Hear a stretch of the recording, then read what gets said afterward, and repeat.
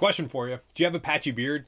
And if so, you're wondering why your beard's patchy and what you can do about it. If that applies to you, this is your video. My name's Nick. I'm the founder of Stubble and Stache. We are a premium probiotic skin and beard care company. And in this video, we are talking all things patchy beards. We're going to talk about causes and we're going to talk about solutions. Now, before we dive into it, uh, let's talk a minute about genetics. So we are all born with a certain number of hair follicles on our face, and that's dictated by your genetics. So if genetically you don't have many hair follicles on your face, or if you have parts of your face that don't have many hair follicles, aside from surgery, there's nothing you can do about it. So, you know, those ads you might be seeing for like derm rollers or like minoxidil, whatever, um, if you don't have the hair follicles there to begin with, nothing's going to cause them to magically appear uh, unless you surgically transplant from your head or wherever uh, onto your face. So, since we can't do anything about that, we're not going to worry about it. Some of us just have the genetics to have insanely full beards, and some of us don't necessarily have the genetics to have full beards, uh, which is totally fine because there are plenty of beard styles out there. We can make this work. All right, so let's talk about why your beard um, might be patchy. Uh, first off, age. So we think, you know, we hit 18, now we're adults and, and our bodies are fully formed. Uh, your beard actually doesn't hit its uh, full potential until your early 30s, right around the age of 35. And the reason being is because all of your beard, uh, your, your, hair follicles, they start off as the vellus hairs, the vellus hairs, the, the young infant uh, juvenile hairs, and then as your hormones release, it signals those follicles to transition from uh, vellus to terminal, and that happens over many many years. It's not like one day all of your your follicles transition. Um, so keep that in mind. Uh, if you're in your teens, 20s, uh, and you have patchy spots and you're getting frustrated, just know that it, can and will most likely get better. Um, second to that, hormones. Uh, when it comes to beard growth, testosterone and uh, other hormones play a big factor in signaling those follicles to transition um, from vellus to terminal. Uh, so your hormone levels definitely play a role in that. And if your lifestyle has kind of cause your hormone levels to drop. So if you're not really that active, you're not eating well, uh, you're going to have lower uh, hormone levels that can influence uh, beard growth. So that's another thing uh, to consider uh, when you're asking yourself why might my beard be patchy. Uh, and also stress.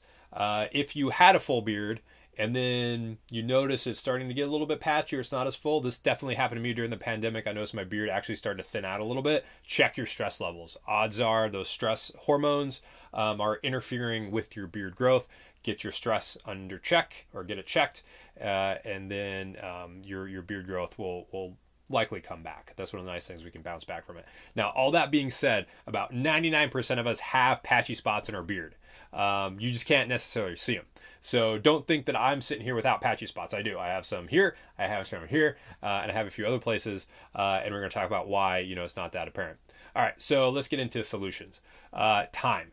Give yourself time. If you're in your early teens, 20s, um, and you're seeing that patchy beard, uh, don't get frustrated. Um, zooming in a little bit, you know, more in, in, a, in a, closer, tighter timeline, uh, we tell most guys give yourself a month to grow your beard uh, just to see how everything's coming in. Beards grow about half an inch a month, so if you have patchy spots, um, give yourself at least three months before you get discouraged. And the reason being is that our beard, um, we refer to it as a beard growth cycle, and I'll link to that video. We did another video explaining the beard growth cycle, um, but they're different phases, and your hair follicles are not growing in all of the phases of the cycle. So if you grow your beard for a month and you have excellent growth in certain parts, and then you have patchy spots, there's a very real possibility that that patchy spot, those hair follicles were in a resting phase when they weren't growing. So that's another reason why we say give yourself at least three months, give that cycle time to work. Um, and even three months, three to four months, you still might have some of your follicles that are in a resting phase uh, and they're not uh, kicked in yet. So give yourself time. Uh, now, let's say you've waited three months, you still have the patchy spots, some parts of your beard are well formed and growing in, and you have some longer hairs there, um, but the patchiness is bothering you. So this might sound counterintuitive, but trim. Trim those longer parts of your beard. And the reason why we do this is for symmetry. If you have really long hair here and then short hair here, it kind of looks off and people's eyes are drawn to it. Um, so just keep it nice, keep it clean, tighten it up a little bit, give those patchy areas time to catch up, uh, and then take it from there. Now, as it gets longer, let's say you have some areas that just aren't going to grow, the good old beard comb over, which we all do. All the guys do it. I do it. Uh, so just, you know, brush your beard, the longer parts to fill in the the parts that aren't as full. Um, great way to to handle some of those those uh, those patchy spots. Uh, now, some longer term solutions, lifting weights, uh, particularly heavy weights, but don't go too heavy too soon. Um, compound lifts, like, uh, and also Olympic lifts like deadlifts, squats, overhead squats, um, cleans, um, those big compound movements, there's going to develop your larger muscle groups, which is going to increase um, your male hormones, uh, your testosterone levels, things like that, which will have an influence on your beard growth.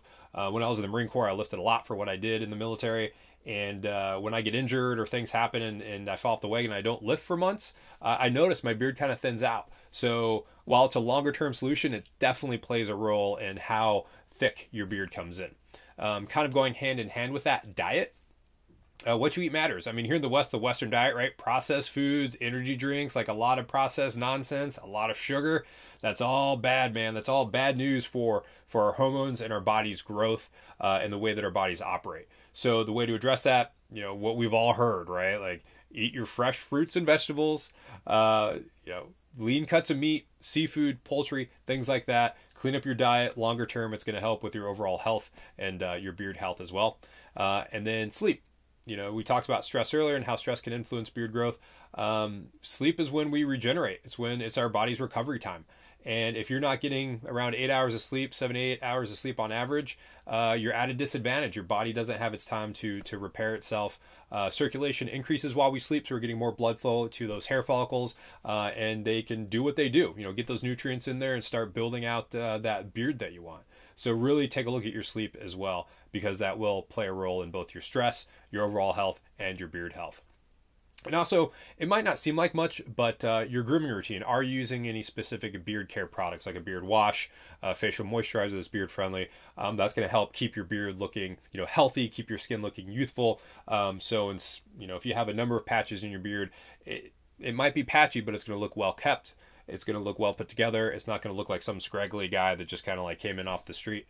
Um, so take a look at your grooming routine as well. If you're not using any beard specific products, you might want to consider throwing them in there uh, because they also do have ingredients that are going to help with that beard, help support some healthy growth. Uh, and lastly, just embrace what you have. Uh, some guys just can't grow a beard because of genetics, and that's totally fine. So if you're in that situation where you're not happy with your beard, um, dude, like I've seen some pretty like legit like patchy beards that look amazing with the way they're styled. So just style it to match your personality. Don't get bent out of shape over it. Um, don't compare yourself to other people. Every beard's unique. Every guy's unique, and just work with what you got and just fucking press forward, man. It's it's gonna look good regardless. Uh, you know whether it's a full beard or like a patchy beard. Uh, just work with what you have. And if you're maybe not that inclined when it comes to like styling your beard, find a good barber and they can help guide you through uh, what would help complement uh, your beard and your face structure and your hair uh, and what you're going for. So again, if you found value in this video, go ahead and give us a like. If you have any questions, comments, go ahead and drop them below and also put the links below as well. And we'll see you on the next one.